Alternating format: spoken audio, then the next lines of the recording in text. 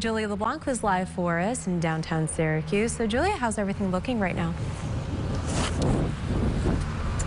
Good morning, Kate. Well, we've been seeing the rain all morning. Now it's really slowed down. I think actually I am seeing some snowflakes coming very, very discreet here. Um, and we're feeling the wind pick up and the temperature starting to drop at this point. But right now, everything's clear uh, as far as, you know, things sticking to the ground. But the Syracuse DPW crews have been out all morning, coming in and out of this salt barn, getting